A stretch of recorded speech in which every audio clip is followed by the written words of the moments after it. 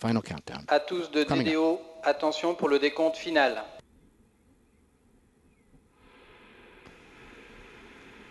10, 9, 8, 7, 6, 5, 4, 3, 2, unité, top, allumage Vulcain.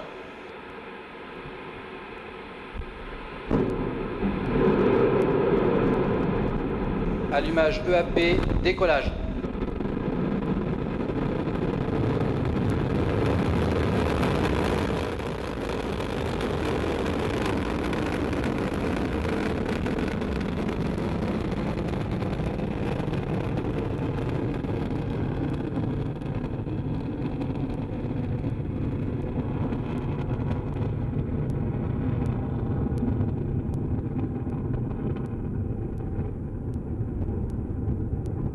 Wow, beautiful pictures again of Ariane coming roaring off the pad, leaving a trail of gold. I think we've lost her in the clouds. There she is. Did you see the cryo arms open at minus five? Did you count to seven? Tous les paramètres sont nominaux. Everything is on board is okay, says the DDO. At 1836 local time and right on time, Ariane began her mission, lifting off from the ground here in French Guiana, beginning her first mission of the year. paramètres à bord sont nominaux. La trajectoire est rising into the clear skies over French Guiana, weighing 775 tons right now. She's burning 5 tons of fuel per second, if you can believe that. 2.5 tons in each booster, and the core stage burning an additional 300 kilograms of fuel per second. She is paramètres à bord following the program in the onboard computer, which is located in the vehicle equipment bay below the satellites, which gives all the orders, including stage separation. We'll, we'll soon begin to see those. We're in the first of four flight phases for Ariane. The first three are powered. The last is not. We'll describe each in turn uh, so you can follow Ariane as she heads east across the Atlantic to separate the passengers paramètres à bord sont nominaux. over the east coast of Africa. And over the Indian Ocean. Flight phases are right now the main engine and the two boosters are burning. Boosters will burn for another 20 seconds roughly. Then the main engine will burn alone for about 9 minutes. Then the upper stage will burn alone for about 16 minutes. And the final flight phase, not powered, we'll get back to that when it happens. Basically, we're using the simple solid propulsion in the boosters to get off the ground away from the pull of the Earth, and the more complex liquid propulsion cryogenics to obs- obtain speed and performance. We're waiting for confirmation of the booster separation. You'll probably be able to see that. des étages d'accélération à poudre. There it is. The DDO has just called it out. You can see the two boosters falling away, leaving their vapor trail. In the middle is the core stage Ariane continuing to burn. Nice shots. Tous les paramètres à bord sont nominaux. The boosters will fall 500 kilometers from shore in a protected area. Having done their job, we're now in the second powered flight phase, the main engine. La trajectoire Burning away. normale.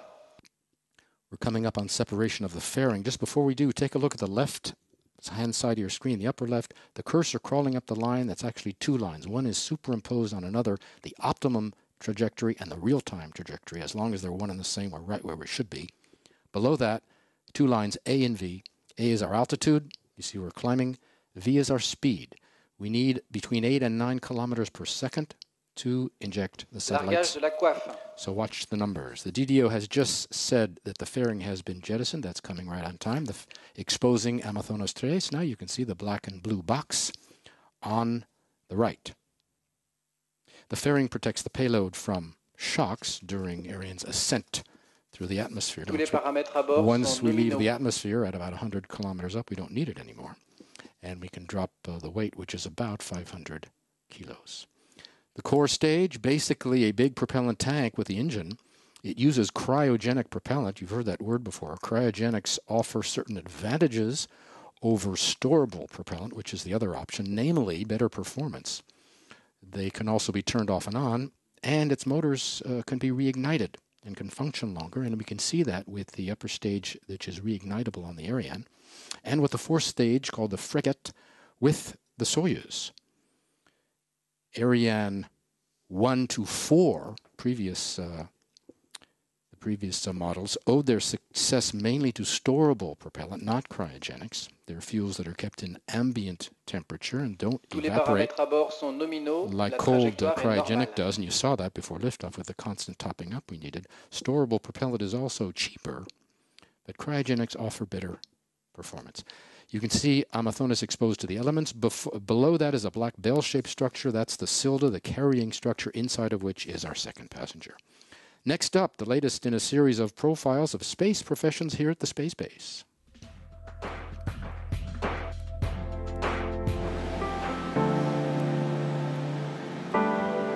Guillaume. My name is Guillaume Lozak. I'm 31 and I've been working for five years with Arianespace as a launch site engineer. I've been living in Kourou for two years. I started with launch campaigns prior to looking after ground facilities after gaining experience and knowledge in relation to the needs of the launcher. In terms of the development of my career, after graduating as an aeronautics engineer, I started working on aircraft engines at Airbus, then in the US, and I came back to Europe, where I worked on the development of the ATV, the resupply spacecraft of the International Space Station. This first experience in the space industry made me want to join the teams of Mon Arianespace. métier est partagé entre les activités My work time is split between operations in and out of the launch campaigns, where I am in charge of making sure that the various systems and methods are consistent. avec l'expérience d'Ariane With Ariane 5, we've put in place a set of methods that have been made it possible for us to deliver a first-in-class reliability, and we have applied these methods on Soyuz and Vega to achieve the same quality across our three launch systems. The role of an assistant at the launch center consists in making sure that facilities are available for the current campaign.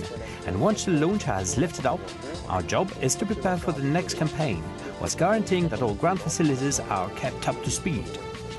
Therefore, the ELA assistant team comprises three people the assistant, who reports directly to the range operations director, and two specialists, one in electrical systems and one in mechanical and fluid systems. And the three of us guaranteed the availability of ground facilities throughout the various steps of the launch campaign. As a result, during the launch campaign, there is a very special phase referred to as the final countdown. This period starts at D minus one with the transfer of the launcher to its launch pad. And during this phase, we switch from our day-to-day scheduling with meetings from the launch center to an operational planning from the operations facilities, where the ground team will take turns in entering the coordinating function and piloting operations in real time so as to achieve an accurate H0 and liftoff in due course. précis et un décollage en temps et en heure. What I enjoy as an operation engineer is that our job is hands-on, and as an assistant at ELA, I'm fortunate to be able to work with people from a wide variety of geographical origins and professional expertise, which is very valuable both personally and professionally. All is well on board Ariane 5. We are going to be picked up shortly by our first downrange tracking station over the border in Brazil, a place called Natal. Acquisition de la télémesure lanceur par la station de Natal au Brésil. And we've just been picked up, as the DDO says. All of Ariane's trajectory has been designed to be followed from the ground, whether by land or by sea. Ariane sends data back to the ground paramètres à bord stations. and these data tell us how the flight is progressing in real time. The launcher is sending radar and telemetry back in a network of stations.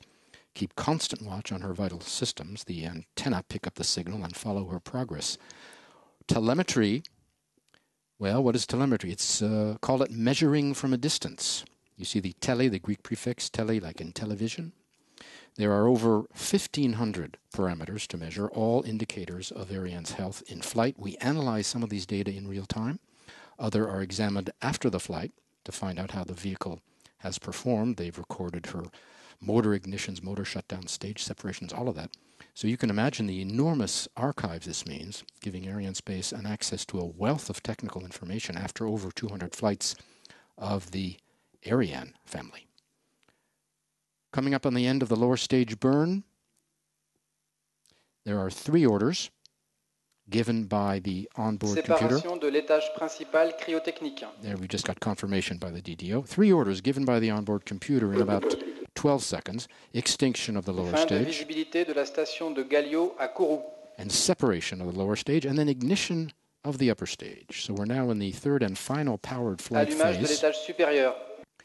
Second stage is burning on a single engine, like the first stage. It carries a lot less fuel, though 12 tons of liquid oxygen and 2.5 tons of liquid hydrogen. It'll burn in 16 minutes. The first stage carried 175 tons.